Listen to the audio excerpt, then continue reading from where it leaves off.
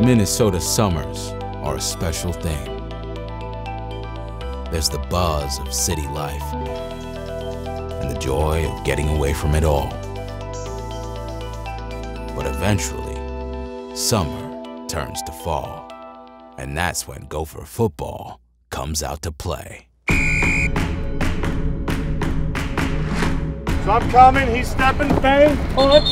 Feet, feet, feet, come on, bang. Good.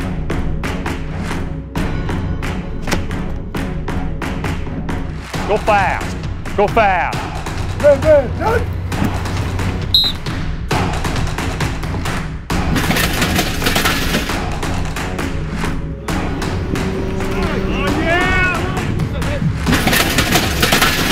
Rocker up, rocker back, ball. There it is, good.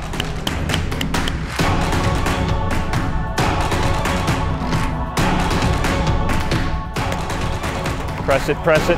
Right there, hit it. Good job. Out of way. Come off the ball. Good, good, good.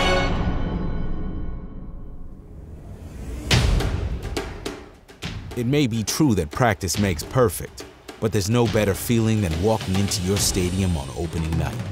You're only guaranteed 12 chances per year to put that uniform on, to go out alongside your brothers and represent Minnesota. And we make sure we enjoy every one of them. Here we go. I got all in. You got all out. All in. All out. Are you ready? Here's a handoff to Smith. Breaks the tackle and he's in. Spun out of the tackle. Finished this game out with a lot of intensity and a lot of energy. Everybody with me there? Sometimes it just clicks, where you feel it all start to come together. It's those days where the offense is making plays and lighting up the scoreboard, while the defense punishes anyone foolish enough to come their way. That's what Gopher football is all about.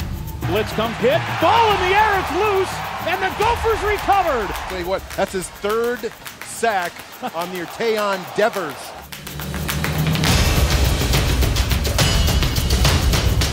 Hey, great job. Great first series. Okay, we got to re- erase that and we got to come right back. Back to pass Hill on third down. Blitz comes. They pick it up over the middle. Picked off. Intercepted Travis. First interception of the year for the Gophers. We fight hard for victory, and we celebrate every one. But while being 3 and 0 is a beautiful thing, for us, it's just the beginning.